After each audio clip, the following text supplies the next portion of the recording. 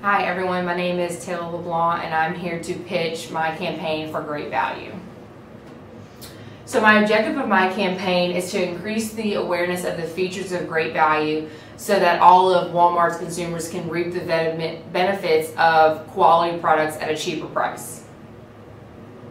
My strategy for this to, create, uh, to achieve this objective is going to be to simply educate the consumers that Great Value is an equal brand that can compete against any top competitor name brand product.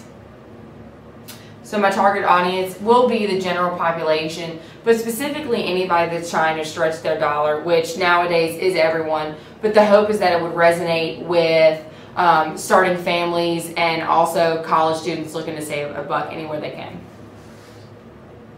So some quick explanations. The slogan will be quality simplified because that is what great value is. Quality simplified. There's no frou-frou with the packaging. They're not trying to attract you because of a color. They're just trying to give you a quality product at the cheapest possible price. And the sacrifice of that is not having really fancy packaging. Um, the messages will be price before packaging and quality. So basically, those messages are they're helping the consumer by making their product as cheap as possible by focusing on the price rather than what they look like, and then also always giving their consumers an equal product to competitors. Um, in addition, a quick explanation on my PowerPoint. You might think, oh, this is pretty basic. She maybe didn't put a lot of effort into it, but it's actually to emphasize what great value is. My hope is that my content that I'm explaining to you and that's listed on here is quality, but the appearance is not what should sell you on the idea. It's the content and the quality. So the uh, first component that I'm going to use in my campaign is a digital component. It's going to be called the Great Value app, and what a consumer can do to interact with this app is go ahead and type in the product that they're searching for. So the one that I've mocked up here is paper towels.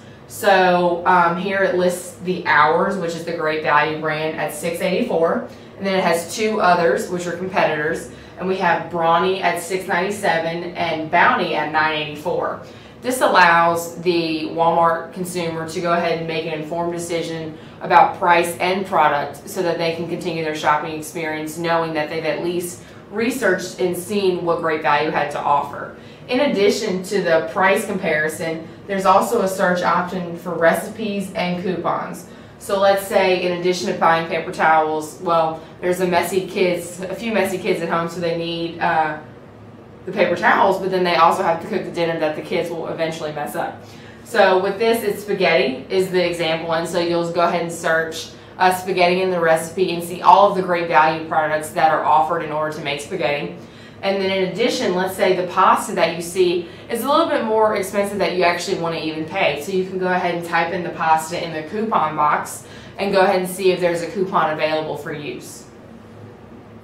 The next step is a 30 second TV spot. Um, I've mocked up a storyboard to go ahead and uh, give you a brief glimpse at it. So basically it's going to be a transaction at a Walmart. The customer will begin by placing their groceries on the runway then as the cashier is scanning the products, the $20 bill that the customer will be holding seems to expand and get larger. The cashier will declare the total and the customer will be shocked.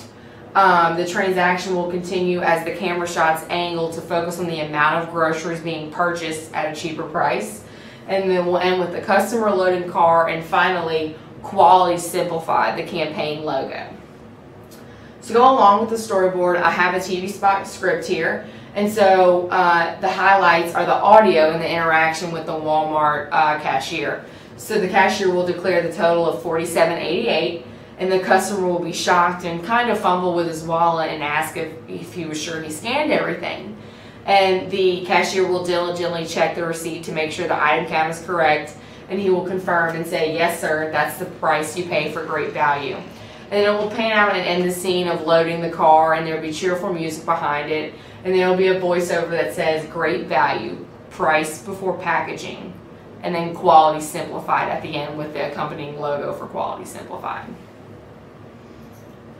So next up is the social media component. I have mocked up a Tumblr blog page and I named it the Royal Standard. Um, I chose Tumblr because Walmart already has Twitter and Facebook feeds, However, a blog would enable there to be a more in-depth and lengthy conversation that Facebook doesn't give you without a read more dot dot dot link, and then Twitter only provides 140 characters. So basically what can happen on this blogs, recipes can be shared and things like that, but it's ma mainly a way for Walmart to communicate successes, progress, uh, consumer feedback, you know, stories, things that have happened in Walmart that have bettered people's lives.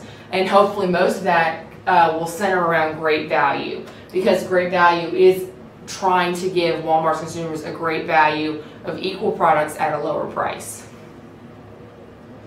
So next up will be the guerrilla marketing campaign. What will happen here is a taste test between Cinnamon Toast Crunch and Great Value Cinnamon Crunch.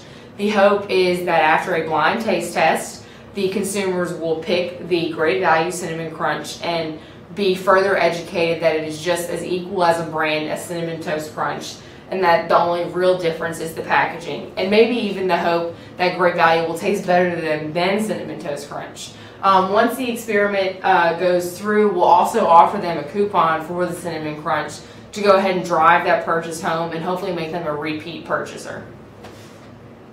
Um, my final component will be a print ad series. So the first will be um, one with a tagline of, can you see a difference? What the image is, is two spaghetti dinners, and you can't tell a difference in the actual spaghetti content. So that is the main point of this ad. Now, it states that one was made with a lot of different brand name, brand name products, and then one was made with great value. There is no difference. You still received a quality product, but you simply paid a cheaper price. The next will really focus on the product and not packaging theme. So as you can see, this wave bottle has been dyed. There's been some very specific logos created for it and things like that. And there was money put into that. However, the Great Value bottle is a simple basic white with some purple and blue coloring. And it says Great Value, it's lavender detergent. The main point is that the Great Value detergent would still clean your clothes just as effectively as the Wave lavender detergent was. The reason that Great Value is cheaper is because it, pro, uh, it focused on the price and what was inside rather than what it looked like. Finally, uh, the last would, the tagline would be quantity made affordable. This drives home the point that with the money that you save with buying great value, you're able to buy more. You're able to provide more for yourself and for your family. Um, that is the entire reason that this ad is just simply a plethora of products. This is what you can buy with, you know, $70 or $50 when you buy great value versus spending 80 or 90 when you buy all brand name products. Um, so that is my presentation and pitch for you all, but I'll be happy to take any questions.